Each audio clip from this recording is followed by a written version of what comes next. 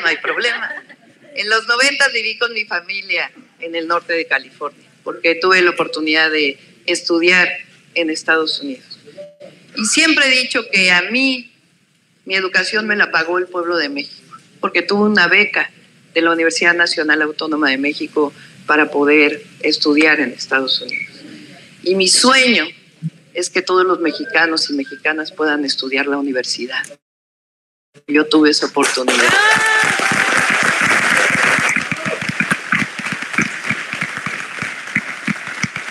Como jefa de gobierno lo que hice fue crear dos universidades públicas donde hoy estudian 50 mil estudiantes. Gratuitas, porque la educación es un derecho. Regresando un poco de lo que me dio el pueblo de México a mi ciudad, que es donde nací. Pero eso es lo que queremos para el país.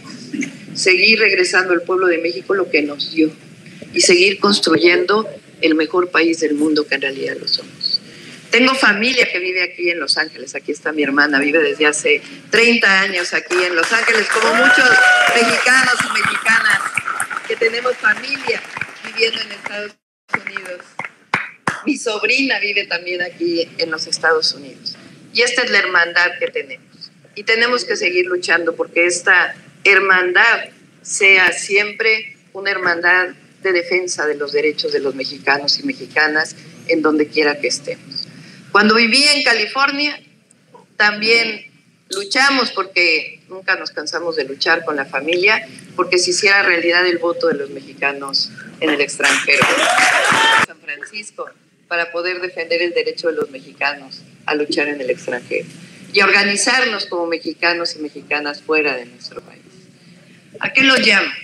A que sigamos organizándonos, porque nuestra voz se escucha si nos organizamos, en Estados Unidos y en México.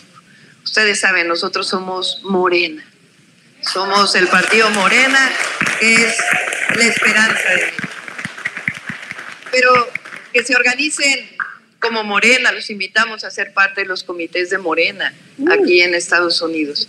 Y los invitamos también a esta organización que tiene líderes y lideresas tan importantes como quienes hemos escuchado hablar aquí.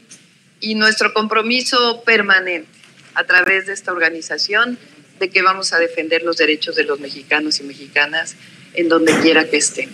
Y seguir insistiendo que los mexicanos y mexicanas en Estados Unidos no solamente contribuyen a la economía de México, sino que contribuyen a la economía de los Estados Unidos y que por eso requieren tener sus derechos.